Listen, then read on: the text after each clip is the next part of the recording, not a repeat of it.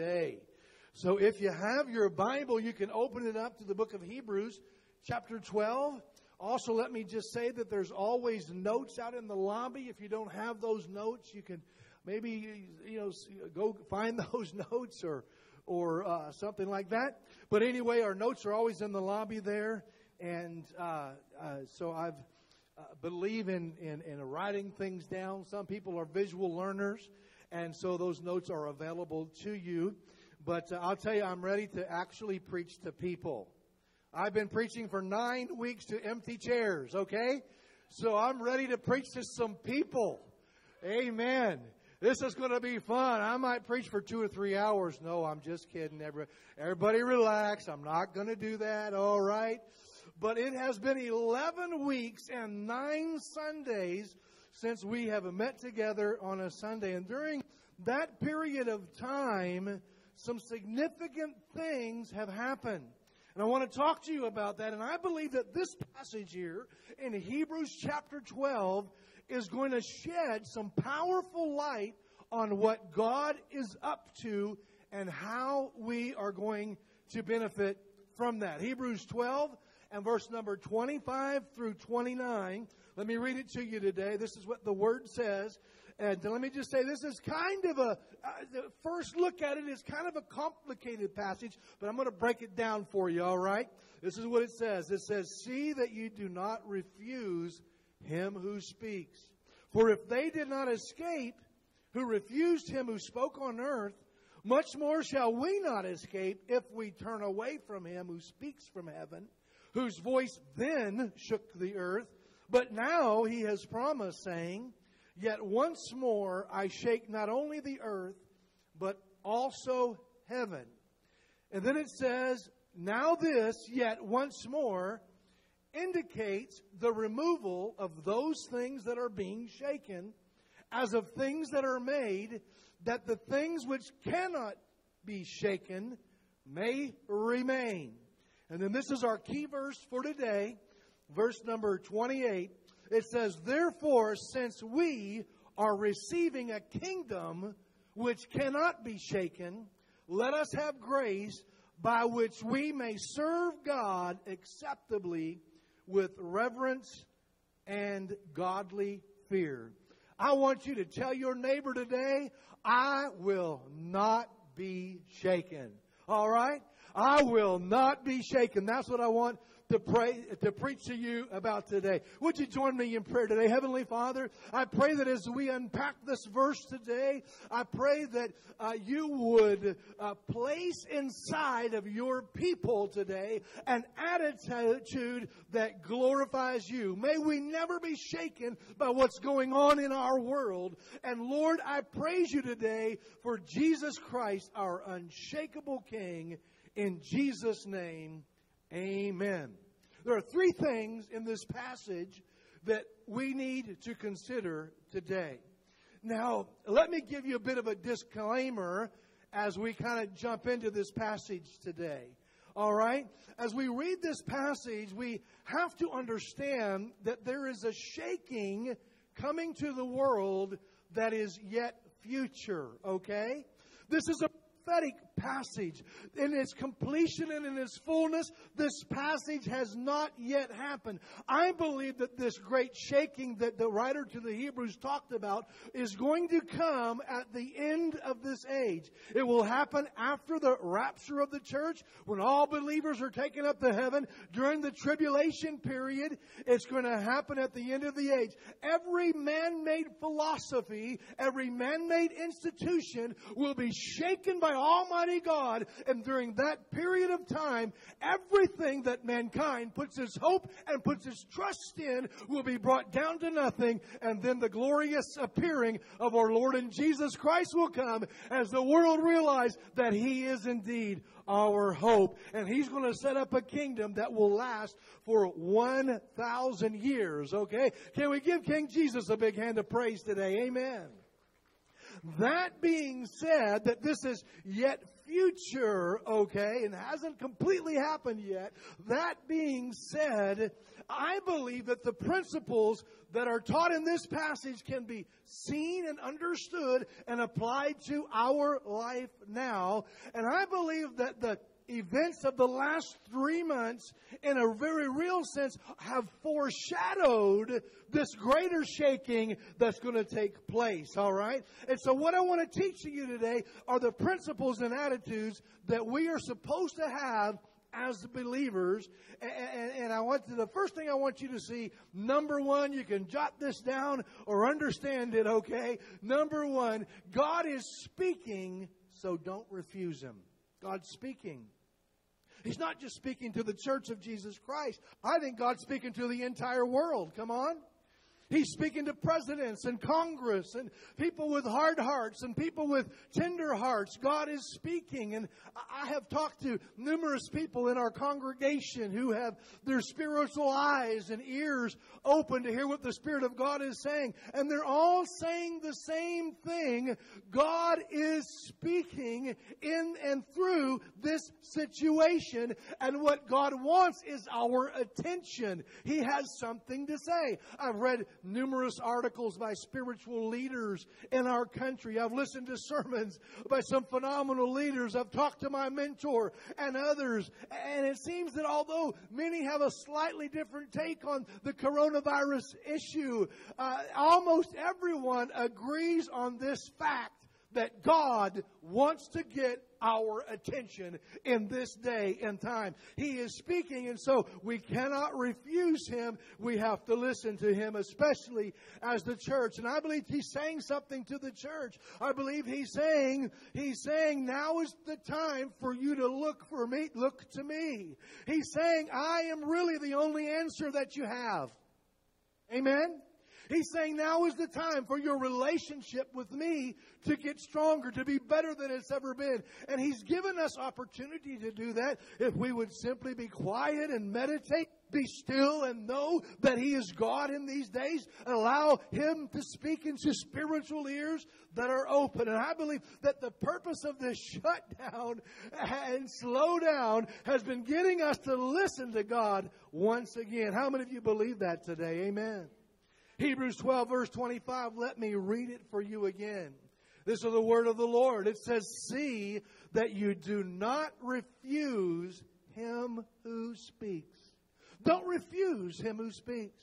It's almost as though there's a pleading and a wooing from the Spirit of God.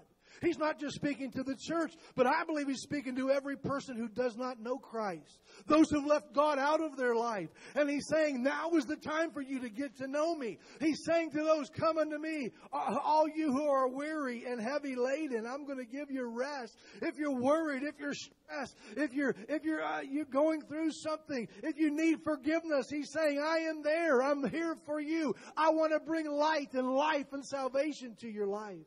He's saying if you need uh, something from Him physically, He's saying, listen, my name has always been Jehovah Jireh. I'm your provider. Come on. He's, if you need healing today, He's saying, I am Jehovah Rapha. I'm the God that heals you. If you need peace today, He's saying, my name is Jehovah Shalom. And most of all, He's saying to those who need forgiveness and peace, He's saying, I am the way, the truth, and the life. No one comes to the Father except through me. And He's saying, saying new life is available. God is speaking and we cannot refuse Him who's speaking. We've got to listen to the voice of the Lord that's calling in this day and hour. Because let me tell you, this situation that we've been in is simply a foreshadow of a greater shaking that's bound to occur one day. And we should listen and heed His words because there's a great shaking coming to the systems of this earth. Hebrews chapter 12, verse 25 and 26. Let me read it again. It says, For if they did not escape who refused him who spoke on earth, how much more shall we not escape if we turn away from him who speaks from heaven, whose voice then shook the earth? But now he has promised, saying, Yet once more I shake not only the earth, but also heaven. Want a quick re- reading uh, of this scripture, it almost sounds like the author uh, of scripture is promising a, a very strong word of judgment. And yes, there will be judgment, but we have to understand as believers that is for those who do not heed his voice, right? That's for those who harden their hearts. That's for those who, who uh, turn away from him. The scripture says, if we turn away from him. But, but you know something? I don't think that I'm preaching to people who are turning away from him. Come on. I believe I'm preaching to people who are turning to him. Our voices are not, our ears are not co- covered up and we're not, it's not that we're not listening. No, it is that we are listening to him. We want to hear what the Spirit says and listen and obey. But uh, there, there is a sense of foreboding when, when people refuse to listen to God and turn away from God. And there is this sense in Scripture that if we turn away from Him, that judgment can and it will follow. So we've got to turn to the Lord today. Amen. And so that is that is our second principle. Uh, that is our principle today. That that that God is speaking, and we cannot we cannot and do not refuse him. Amen. Amen. And then secondly, the second thing I want to talk to you out of this passage is that the world is shake, is shaken, but we are not to fear. Tell your neighbor we're not to fear. Now, there's a difference between being afraid and having caution in your life. Am I right? Being afraid is trembling on the inside, full of, of, of inward fear and, and trembling. But having caution about your life, that's a good thing.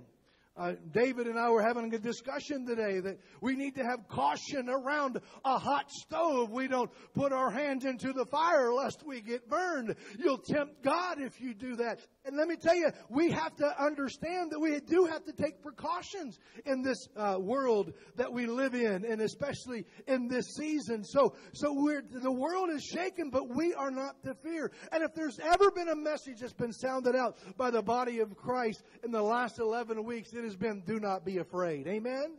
A lot has changed in those 11 weeks since we have been apart. And no one can deny that things have been shaken in our world, right? The, the, the, the, governments of the world have been shaken. The medical world was shaken during this season. Our, they thought our health system was going to be overwhelmed. Words like ventilators and N95 masks have become commonplace. Our economy has been shaken, right? Uh, after three years of, you know, wonderful growth in the economy, suddenly the stock market drops more than, than it ever had before. Unemployment has skyrocketed. Some 39 million Americans have applied for unemployment. The fear of coronavirus has caused things that we normally take for granted to be shaken, right? The restaurant industry was shaken. The meat packing industry, the milk industry, even Hollywood has not been able to produce things anymore for a season. The oil industry facing a glut of oil as prices hit a low we haven't seen in years. The airline industry was shaken as people stopped traveling. Governors scrambled for resources and things like that. And we've watched all that on the television. And for some, the trust that they had in the government has been shaken. True? Absolutely. Conspiracy theories have abounded. Was this all just a scam? Is this the work of a terrorist? Was this just an invention by the powers that be to get all the quote unquote sheep to fall in line? And the some, for some, the trust that they've had in the World Health Organization has been shaken. On and on. We can, how many of you see that the world's been shaken today? In the last 11 weeks and two months, whatever it's been, the world has been shaken. On a more personal side, individual families have been shaken.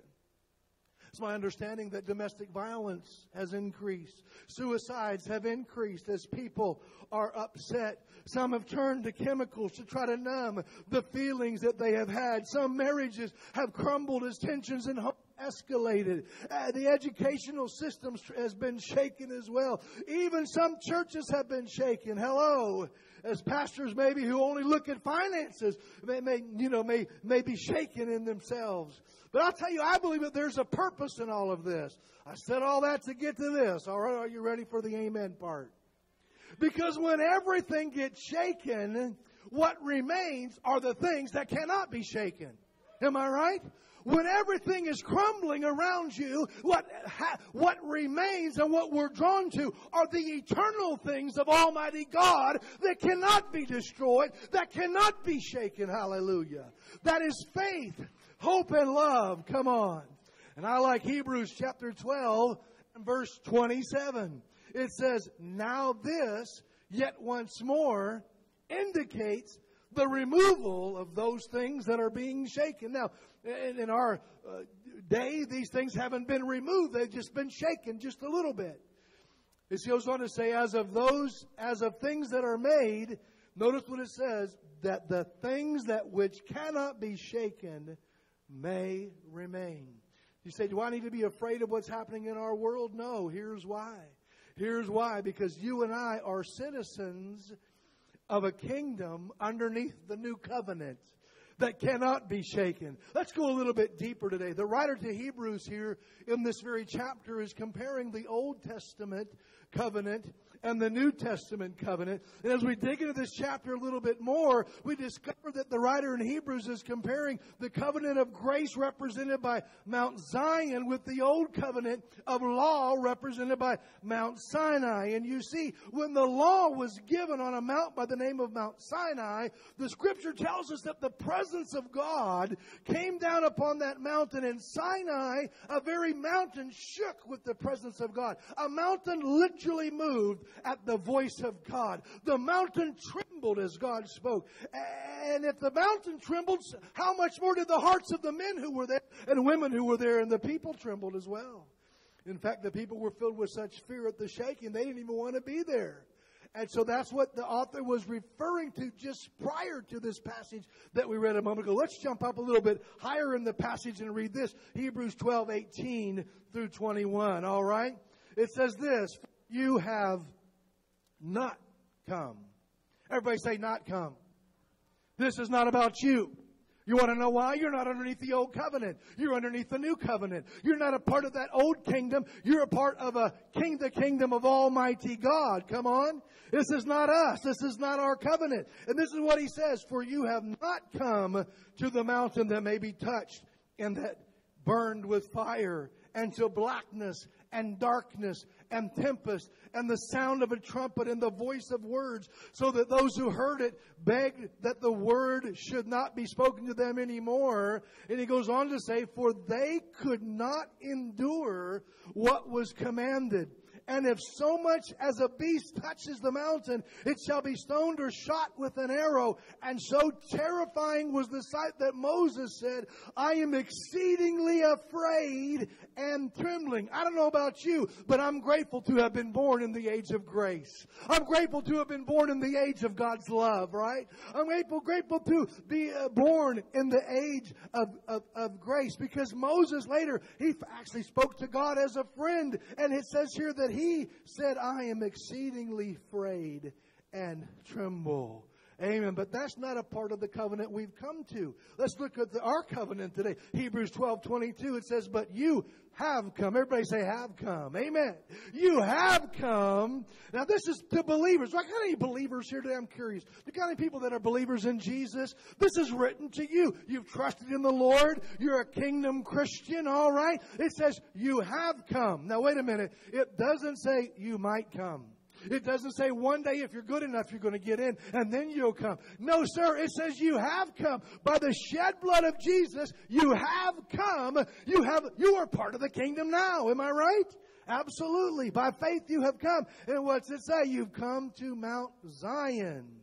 Okay, well, what is Mount Zion? Oh, well, what is all this talk about? Let me tell you, Mount Zion in the scripture has a dual meaning, all right? Mount Zion, first of all, is a place. You can actually go to Israel, to the city of David in Jerusalem, and nearby you'll find a place called Mount Zion, all right? But there's also a, a, a it's also a spiritual place where the presence of God dwells. Now, I wonder today, have any of you ever been at, at a place where God dwells? In your life? Amen. Does God dwell in your heart? Does God dwell in your home? Does, then, then that's your Mount Zion. Isaiah and the Psalms give us insight into what Mount Zion is. Isaiah 8:18 says, "From the Lord of hosts, who what's it say? Dwells in Mount Zion. Uh, Psalm 74 and verse 2 says, this Mount Zion where you have dwelt. And so the dwelling place that we have with God, amen, that's our Mount Zion. And then it goes on to say that it's also a place where God reigns, right?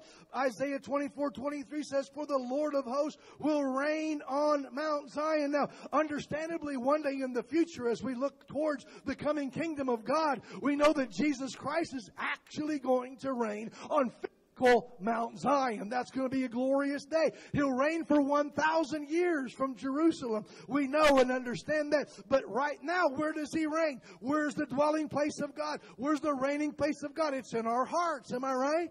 It's in our lives. Amen. The place where He is found King is where hearts have given Him allegiance. And this scripture describes our present reality and our future hope. Let me read it for you today. Hebrews chapter 12, verse 22. It says, But you have come to Mount Zion and to the city of the living God, the heavenly Jerusalem, to an innumerable company of angels, to the general assembly and church of the firstborn who are registered in heaven. Did you know your name's written down in heaven if you're a believer in Jesus? Hello?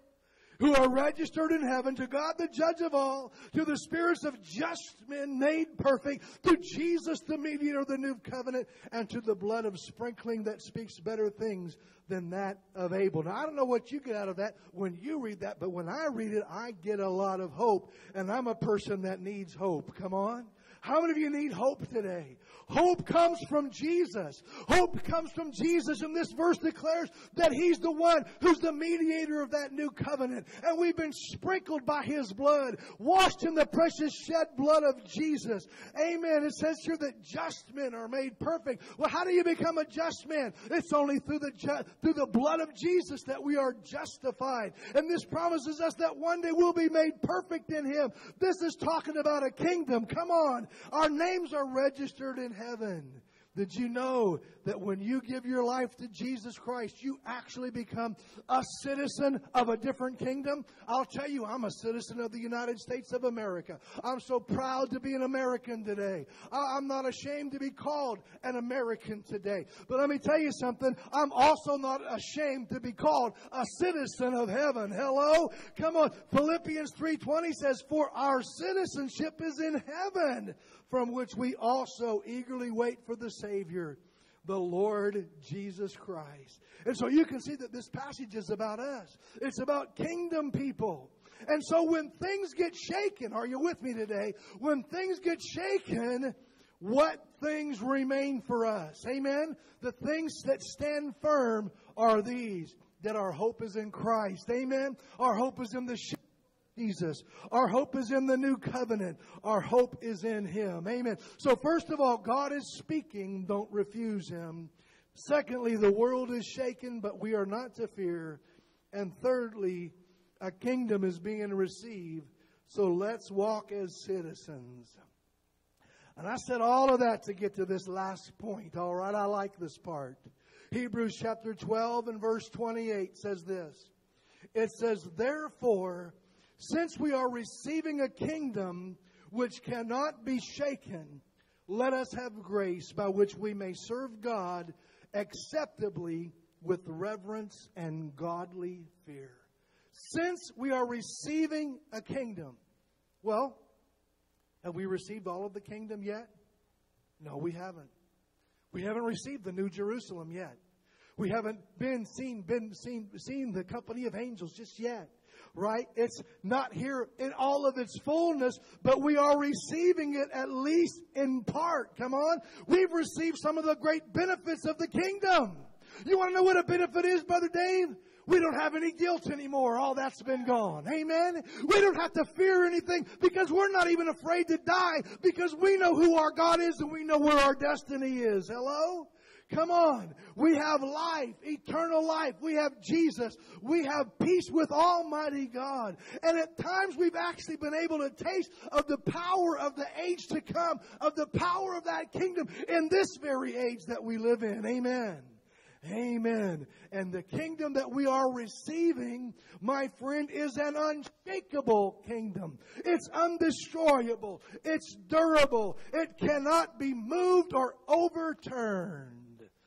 Now, hallelujah. I tell you what, you know, we, we honor the, this weekend the men who, who died for our country. And uh, we're appreciative of that. But I want to tell you, one day the United States of America will not be anymore. It will go the way that all kingdoms of the earth have gone. Come on. It will no longer exist. But let me tell you, the kingdom that you and I are citizens of cannot be shaken. You say, how can that be, Pastor? I'll tell you why. Let me give you a few reasons why it cannot be shaken. Because the throne of God cannot be shaken. Amen. I'm just telling you that God did not fall off his throne when they announced that there was COVID-19 in Wuhan. Hello. Come on. There is nothing that can push God off of his throne. Hello? Lucifer already tried that. He got kicked out of heaven. Come on. And one day he'll be thrown into the lake of fire. You cannot dethrone an all powerful, all knowing, eternal God. Psalms 45 6 says, Your throne, O God, is forever and ever. Amen. The throne represents God's reign. It represents His rule. It represents God Himself. And then, and then not only His God's throne cannot be shaken, but I'll have you know that God's word cannot be shaken. God's word cannot be shaken. I love Mark 13 and 31 that says this, heaven and earth will pass away, but my words will by no means pass away. You want to know what that means? Every single promise that God has made to us is going to be fulfilled and completed. Come on. I'm talking about eternal life. I'm talking about streets of gold. I'm talking about no more tears. Amen. Every promise is going to come to pass because God's word cannot be shaken. 1 Peter 1.25 says, But the word of the Lord endures forever. Amen. It will remain forever. It's unchangeable. Now mankind might try to come in there and mess up this word and try to twist it and make it mean something else. But I've got news for you. The word cannot be shaken. And then the gospel of the kingdom cannot be shaken. Amen. The, the gospel is eternal. Revelation chapter 14 and verse 6 talks about the eternal gospel. It's the good news that lasts forever.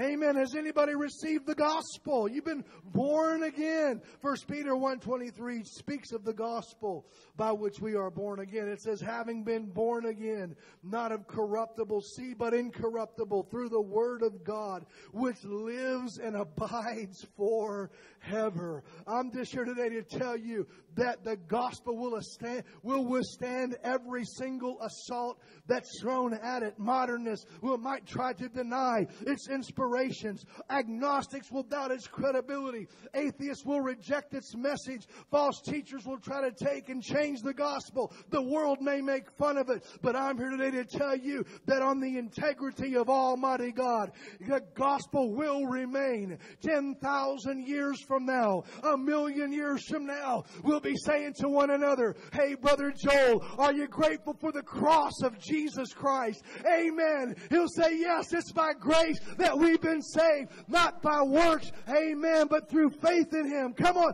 give the Lord a hand of praise for the gospel of Jesus Christ.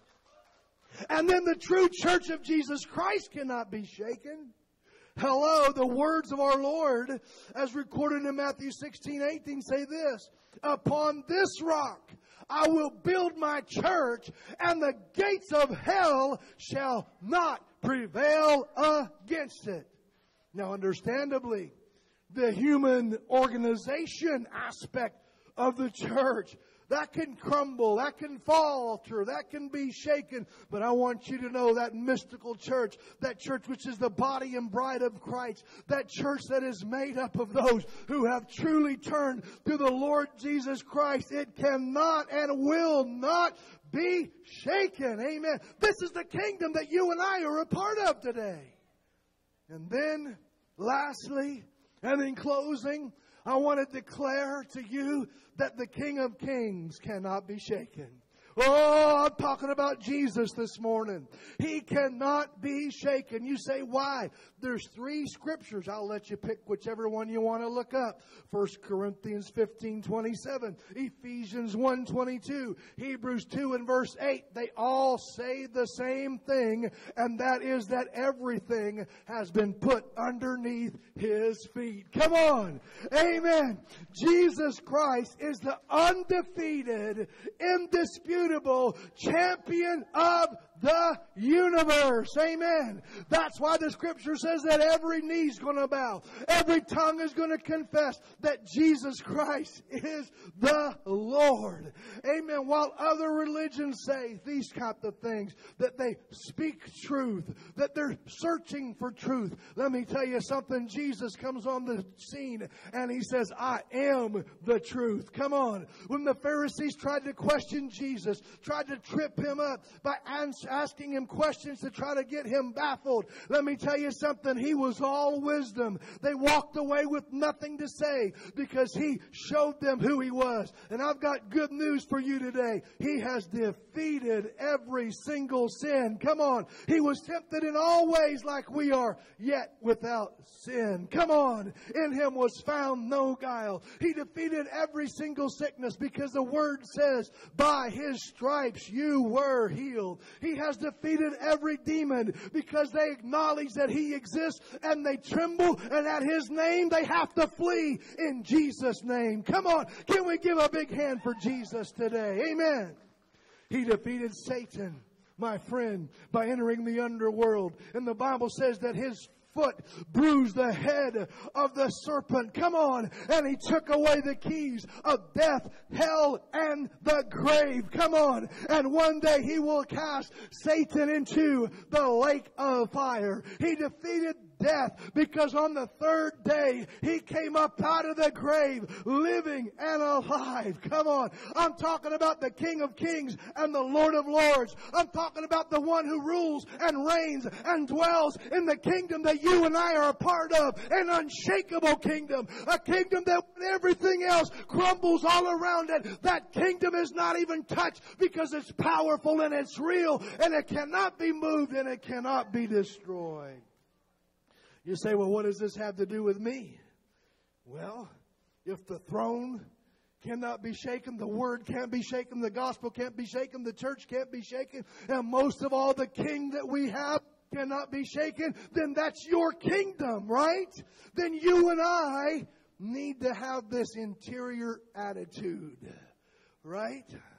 Where we stand a little bit taller. Come on where we puff out our chest just a little bit. Not in boastfulness about us. Come on. We're nothing. Come on. But we can boast in Christ. Amen. We can talk about Him. We can say how wonderful He is. We can talk about His kingdom. It's not my kingdom. No, sir. It's Christ's kingdom that we're in. Amen. That's a biblical attitude that we have that when everything else seems to be going astray, going crazy, the church of Jesus Christ has both feet planted on the solid rock, Christ Jesus, and let the winds blow, let the waves fly, let the storms rage high, let the tempest come, let the enemy tell us that he's going to destroy us in our personal lives. All of these things don't matter because we're part of an eternal kingdom and we declare to the world, we stand up against the storms of time and we say, I will not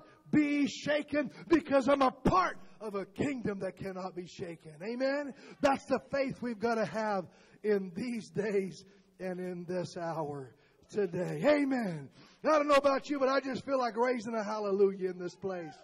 Amen. Can our praise team come back for just a moment today? Amen. We're not going to hold you long today, but we want to end this service with the shout of praise and with the shout of victory and with the Spirit of God rising high in our heart. And I want you to leave today with the attitude inside of your soul that you're receiving a kingdom that cannot be shaken. And even though everything around you may look troubled, doesn't matter how dark the days, how difficult an hour you're looking at, you are going to be all right. Like the hymn writer said, it is well with my soul. It is well with me. Would you stand with me today? Amen. And we're going to sing a portion of this song together one more time today. Amen. Before we go today. Oh, hallelujah. God is so good today. Woo! Come on, give him praise. Let's worship him today. Let's give him glory today. Hallelujah. Hallelujah.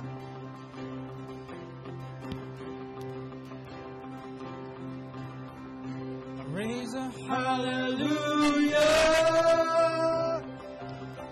in the presence of my enemy. I Raise a hallelujah